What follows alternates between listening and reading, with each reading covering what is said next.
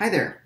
Thus far in our discussions and readings and in the video lectures, we've established the following things about beliefs. We noted that all other things being equal, true beliefs are better than false beliefs. But what if we're uncertain? What if we don't know what the truth is? How do we know which beliefs are the good ones, which ones are the bad ones, which ones are better than others? Well, we discussed how offering justification with good reason can act as a proxy for truth in those sorts of circumstances. Um, what we're talking about here is reasonable support for beliefs. Uh, if a certain belief has reasonable support and another one doesn't have reasonable support, or if the reasons are better for one belief than for some contrary belief, then that's the one that's to be rationally preferred. Rationally preferred, meaning it has good reasons. That's what rationality means. It has to do with reason. We also discussed how consistency amongst our beliefs is desirable. Uh, we don't want to have any beliefs that are in direct conflict with one another because mutually contradictory beliefs can't both be true at the same time and in the same respect. This much set us on this course of looking at um, the the giving and evaluation of arguments as this kind of process by which we try to determine which beliefs are the ones that are rationally preferable to other beliefs. That there's some sort of activity that needs to happen, a critical process. In today's video lecture, we're going to be diving a little bit deeper into this question of um, what sorts of habits or virtues we want to pursue when we're thinking about uh, how it is that we come to our beliefs. And we're also going to start turning our attention towards this social dimension that was mentioned in the first video lecture, this social dimension of critical thinking by which we're kind of giving and listening to and evaluating and reconstructing arguments with other people. In fact, frequently the way that this is going to play out and the way that we examine arguments with other people is going to be in circumstances where we disagree with the people that we're looking at arguments with. So we're going to talk about um, some etiquette and some sort of like virtuous habits in thinking about arguments as it concerns critical discussion with other people. This is by no means exhaustive of this topic. It's actually the sort of thing that you could write, you know, very long books about. Um, but hopefully, it's enough to kind of get us focused on the right sort of attitude to bring to um, some sort of discussion, a critical discussion, where I'm trying to d- establish what the truth is with other people, perhaps some people that have different opinions than I do. It's also probably worth noting that we're going to be taking a particular kind of approach to talking about um, what it is that uh, Shea and Nuccitelli refer to as virtues of belief, what I'm talking about in terms of etiquette and virtuous, uh, virtuous argument. And that technique uses what's usually referred to as a virtue approach. And that approach involves the identification of two undesirable extremes, um, which we can avoid by trying to carve out some sort of middle path, some virtuous mean between those two extremes. For example, one of the virtues of belief that Shea and Nuccitelli talk about involves trying to find some sort of balance between two principles a principle of conservatism and a principle of revisability, both of which seem to be uh, some sorts of principles that we're trying to adhere to in order to make sure that we're coming to beliefs in the right sort of way. Principle of conservatism tells us that if a belief has a reliable track record, then I should be hesitant to abandon it.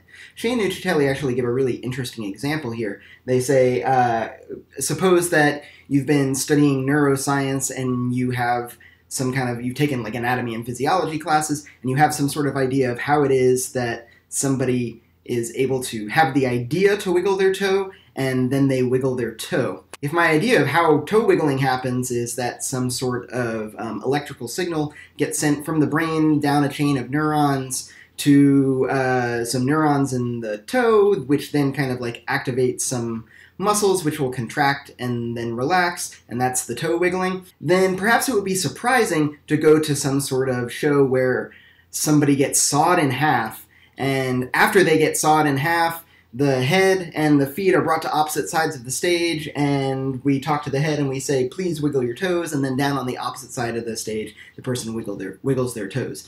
Now we could take that as evidence that we should change our belief about how it is that toe wiggling happens. That um, in this show we've been given some pretty compelling contrary evidence to the prevailing theory of toe wiggling. But it seems a little bit silly to do that, to abandon the belief so quickly and so casually. Um, perhaps the better move here is to suspect that some kind of illusion was employed in this show in order to make it look as if somebody was cut in half when in fact they weren't actually cut in half. Uh, there are probably some other reasons why I would think that a person doesn't actually get sawed in half in a show. This principle of conservatism seems aimed at trying to get us to not be too flighty when it comes to changing our beliefs. That once we identify something that has a good track record, some, a set of beliefs that is working, um, we should want to stick to it. It should have some sort of preferred edge there. At the same time, there's this principle of revisability that says if I'm presented with good reasons to abandon belief, I totally should change my mind. So obviously, there are excesses on either side here. I could be too conservative. I could be the sort of person that um, thinks that somehow it demonstrates integrity that I never change my beliefs about anything at all. And that seems to be a little too close minded. It seems to be dogmatic. So perhaps this is one of the extremes that we're worried about. A vicious extreme is the extreme of dogmatism, this kind of closed mindedness by which you don't change your beliefs ever and you never really seriously consider the possibility that you might change your beliefs. At the same time, we have another vicious extreme on the other side. You don't want to be so open minded that your brains fall out of your head and you don't have any real beliefs at all, or you're constantly changing your beliefs from one moment to the other. Your beliefs aren't going to be very helpful if you take that sort of extreme approach. So the virtuous mean here involves trying to find a path between dogmatism and this sort of extreme relativism by which we don't actually ever take any kind of real position. We just constantly fall back into this, like, well, I guess everybody's entitled to their own opinion, whatever that opinion might be, sort of attitude. And we can talk about trying to find that virtuous mean by talking about balancing these two principles the principle of conservatism and the principle of revisability. Now, when I portray it like that, it perhaps seems a little bit obvious, um, but at the same time, I think most of us would probably identify that um, we probably do miss that virtuous mean, and we probably miss it more often on one side than we do on another. This is actually a real practical benefit to taking a virtue approach. It's kind of difficult to prescribe in the abstract exactly where that balance between conservatism and revisability lies, exactly where that virtuous mean between the excesses of dogmatism and extreme flightiness or extreme relativism. It's kind of difficult to tell where that is, but we probably have some sense of whether or not we're erring on one side rather than the other. Um, for my part, um, I don't know about you. I have a tendency to kind of like err too much on the side of dogmatism than extreme relativism. I have a tendency to perhaps be a little too close minded with the beliefs that I'm already comfortable with. And that means that I know what I have to work on when I am trying, trying to think about like how do I develop better habits for thinking uh, with other people or by myself. I know that I need to make an effort to try to keep a more open mind. We can think about this in a slightly different way as well by talking about balancing courage and humility when it comes to not only having beliefs but sharing those beliefs publicly. So, uh, for example, we want to be courageous, but we don't want to be arrogant, right? We want to have some sort of confidence in our beliefs, but again, we don't want that confidence to be um, a kind of a false confidence. We don't want to kind of overreach how well justified our beliefs actually are. So we can probably say something like, uh, well, you don't want to be so afraid to speak up. You don't want to be so humble that you never say what you think is true. You never actually take a position on something because sometimes a position needs to be taken. But at the same time, we probably shouldn't be so foolish or so reckless as to think that once we've shared our opinion that that's the end of the intellectual process rather than just the beginning of an intellectual process. I need to be genuinely open to the prospect that in some sort of a disagreement, I might be the one who's wrong, but I don't want to be, you know, uh, so lacking in confidence that I never think that, I'm, like, even when my reasons are clearly better than the reasons of people taking the contrary position, um, that, like, I shouldn't have some sort of confidence to take the position that I do take.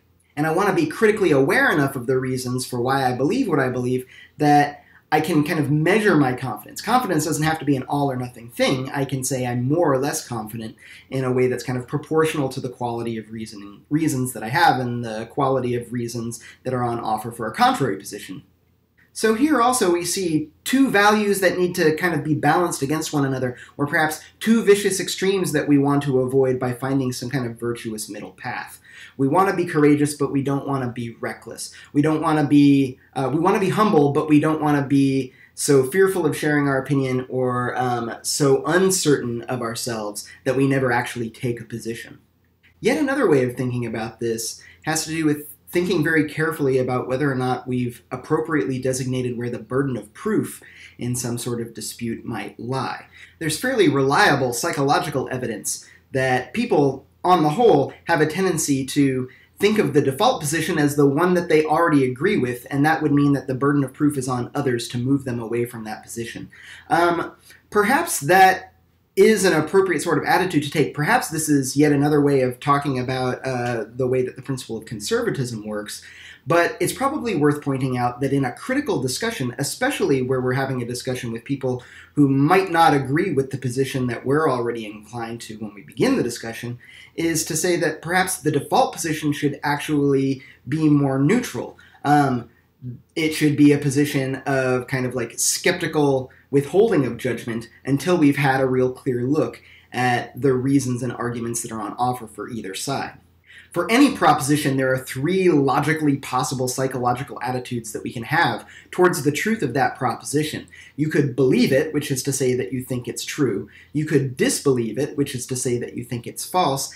And frequently overlooked is this third option of non belief, which isn't to say that there is no truth or falsity of the issue, but it's to say I'm not sure what the truth is and I'm suspending judgment. Now, as I just mentioned, in the context of critical discussion, usually that default position is non belief, and that means that there's a burden of proof on both sides in order to demonstrate the compelling reasons for why we should either believe or disbelieve some key proposition. And while I might start out going into a critical discussion taking a kind of a, a, skeptical suspension of judgment, the goal of that critical discussion is to arrive at either a belief or disbelief of the proposition in question. However, sometimes there is a default position on some issue that isn't that kind of skeptical non belief. Sometimes, uh, for example, in our judicial system, we identify that a person is innocent until proven guilty, which is a fairly explicit way of saying that the burden of proof in some sort of uh, in some sort of criminal case, at least, lies upon the prosecution to prove beyond a reasonable doubt that the accused is guilty. And if it turns out that the prosecution isn't able to discharge that burden of proof, then juries are instructed to find the defendant not guilty. In those sorts of circumstances, there's a default position, and the burden of proof is on disproving that default position. The burden of proof is um, on one side but not on the other. If the burden of proof is on me, I have to demonstrate that there's good reason to abandon that default position, and uh, the other side, all they would have to do is show that I have not discharged that burden of proof, that I haven't given good reason to abandon that position just yet. On the other hand, if there is no default position, if the burden of proof is evenly shared on both sides of some sort of a dispute, and all I'm able to do is to show that the other side isn't making good arguments, then I haven't really made my case. All I've done is shown that like no good arguments have been made yet, and therefore we're still in this position of non-belief. We're still in this position where we have to suspend judgment because we haven't heard compelling reasons one way or the other yet. In order for me to discharge that burden of proof, I have to not only identify that the other side isn't making very compelling arguments, I have to make some sort of positive argument of my own for why the position that I'm representing is actually believable. And if you ever find yourself in a dispute where it's not clear where the burden of proof lies, it's probably worth pointing out that when it comes to this question of etiquette, engaging in critical discussion in a way that's polite, the most polite thing to do in that sort of disagreement is to act as if you have the burden of proof, or act as if I should act as if I have the burden of proof. If possible, I want to be able to make a stronger case than uh, one that's kind of built on this technicality of like, I actually already have the default position and I don't need to offer compelling positive reasons for why that position should be taken seriously. One place that we've already seen this idea of burden of proof at work, or a, kind of a failure to recognize and appropriately deal with burden of proof, is in a fallacy uh, that we saw earlier called an appeal to ignorance, or argumentum ad ignorantiam. Um, in an appeal to ignorance, what we say is, we don't know, therefore this position is true, right? Uh, the example that we have here is Timmy says, Of course, there's intelligent alien life out there. And Timmy asks, well, Why do you say that? And Timmy says, Well, there's just so much that we don't know about the universe. Note that if Timmy is making an argument at all here, he's not making an argument for why we should think that there is intelligent alien life out there. He's making an argument for why we can't be confident that there isn't intelligent alien life out there. And all that really does is get us to this default position of like, okay, well, then we don't know, right? No positive argument is being offered for why I should find it believable that there is intelligent alien life. Instead, I'm just being given reasons to be suspicious of an argument that tries to come to the conclusion that there is no intelligent alien life. And so the big mistake that this fallacy commits is by mistaking an argument that gets us to that kind of neutral, skeptical position of non belief for one that gets me to um, some sort of positive position. It's a mistake that says just because I've shown that you haven't made a very compelling argument for this position, therefore the opposite position may be true. And we're like, no, no, no, no, no, no. All we've really shown there is that like we don't know. We've also seen the same principle at work in the fallacy fallacy, which identifies just because an argument is fallacious or just because an argument isn't good, that doesn't mean that its conclusion is false. And we've also seen this in another principle, uh, which is that uh, while a good argument tells me that there's good reason to believe its conclusion. A bad argument just doesn't give me good reason to believe its conclusion. It doesn't give me reason to disbelieve the conclusion. It only says there's no good reason to believe. And so, again, the default is back to non belief. So that fallacy fallacy makes the mistake of saying just because somebody's given a bad argument, therefore their position must be false. And we're like, no, no, no, no, no, no, no, no. If they make a bad argument, then we've been giving nothing interesting. We're still at this default position, which is generally, in critical discussion, non belief.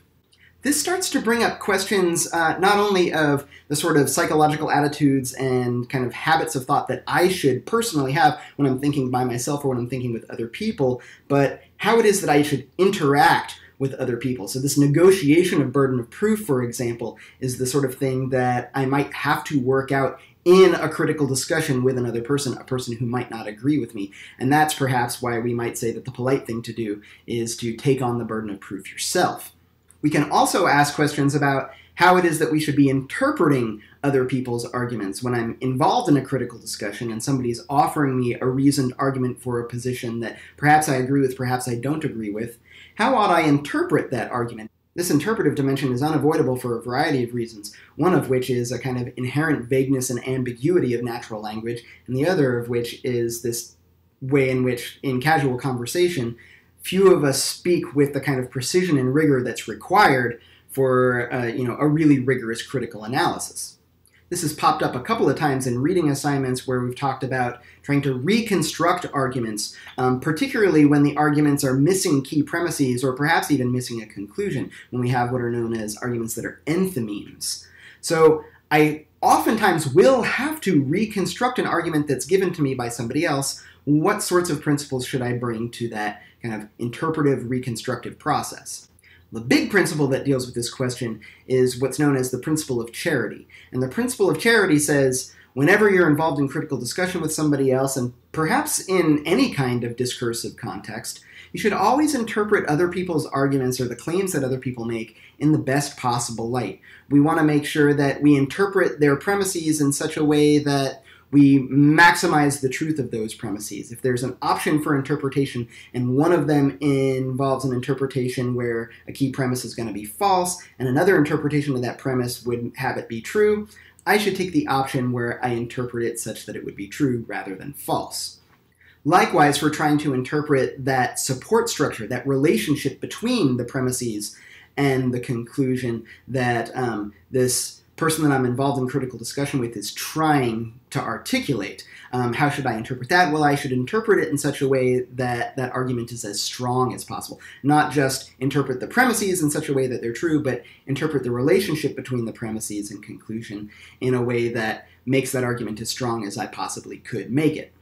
This principle of charity gives us a way to avoid committing a fallacy that we've already seen, the straw man fallacy. That straw man fallacy we discussed as a uh, fallacy of relevance, and I'm committing a straw man fallacy whenever I artificially weaken somebody's position by portraying it in a way that is, you know, worse than it actually is. And perhaps if we have a principle that says we shouldn't artificially weaken somebody's position, that principle of charity that says, like, make sure that you interpret somebody's argument in the best possible light, we also might want to have a principle that uh, warns us off against artificially strengthening somebody's position. Now, this is a little bit delicate. Um, the, this is usually captured in what's known as a principle of faithfulness, which says to always interpret other people's arguments in as accurate a way as possible. Not necessarily the best possible light, in an accurate way, so actually represent what it is that they're trying to say. And this raises a question of whether or not there's some kind of companion fallacy to the strawman fallacy. Uh, we might call it a steelman fallacy, whereby I'm representing somebody's argument as stronger than it actually is. Now, this balance is really difficult to strike, and as we mentioned before, um, and that this is kind of typical of a virtue approach, it's difficult to kind of abstractly prescribe where that balance is going to lie. It's really hard to give kind of universal rules to follow to make sure that you are balancing charity and faithfulness. But you might have some sense of um, which side of these two vicious extremes that are trying to be avoided a straw man fallacy and a steel man fallacy which of those are you kind of more inclined to fall prey to which of those might be worse and uh, my sense is not only for myself but for most people that i've engaged in critical discussion with um, we have more difficulty applying that principle of charity than we do a principle of faithfulness. We have a tendency to represent the arguments that are being made by people who disagree with us as artificially weaker, and we rarely end up finding ourselves in a situation where we're interpreting them in a kind of artificially strong way.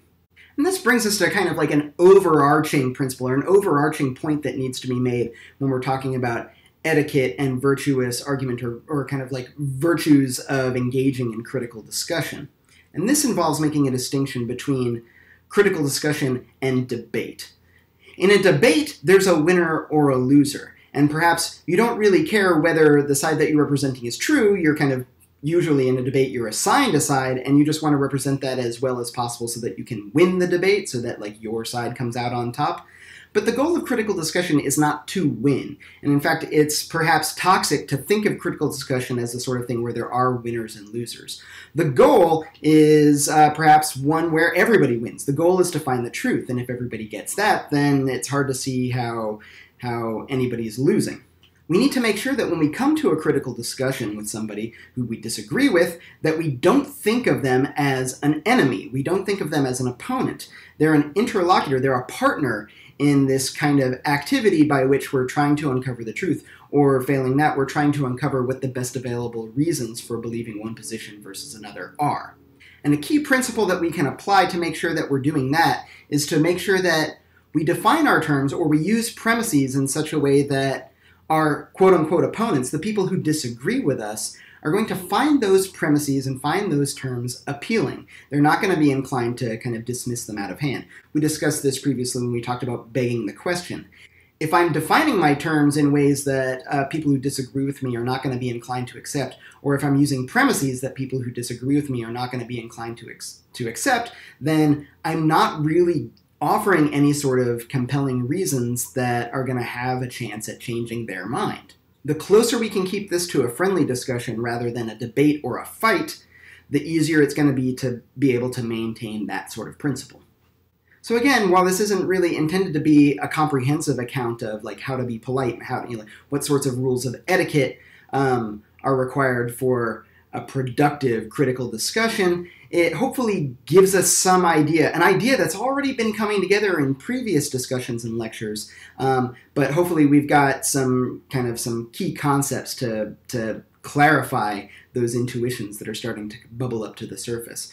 We discussed how we need to manage some sort of balance between a principle of conservatism and a principle of revisability so that we can avoid the vicious extremes of being dogmatically closed minded and so um, so flighty or so open minded that we're not actually taking a position, which is, after all, the goal of critical discussion, which is to, to come to some sort of like well reasoned conclusion.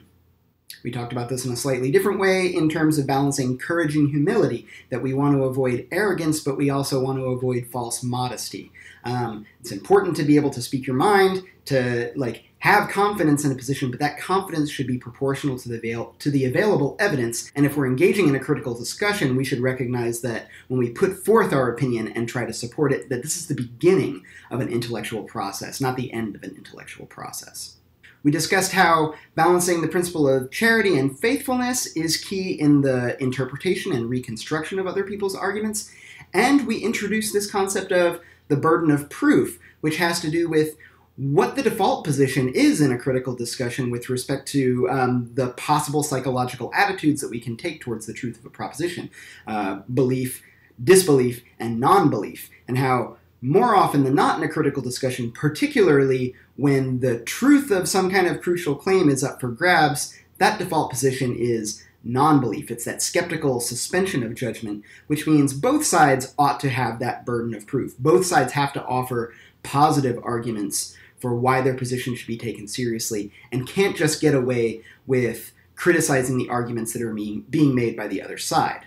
And lastly, and most importantly, we have this notion that we shouldn't be thinking of our interlocutors as opponents or enemies. We should be thinking of them in as friendly a terms as possible. We should be engaging in critical discussion in as friendly a way as possible by thinking of our interlocutors as our partners in this activity rather than as our opponents. And this isn't just good manners. This isn't just good etiquette. It's not just being polite. This is what makes critical discussion productive. It's what makes critical discussion work and satisfy the goals that it's trying to achieve. And we have to be mindful of these principles because it takes effort to apply them. It takes effort to adhere to them. In an upcoming lesson, we'll discuss the implicit psychological biases that we all have that lead us astray from these principles and cause us to drift into the vicious excesses that we're actually trying to avoid by employing these principles. I look forward to seeing you for that video lecture, and until then, take care.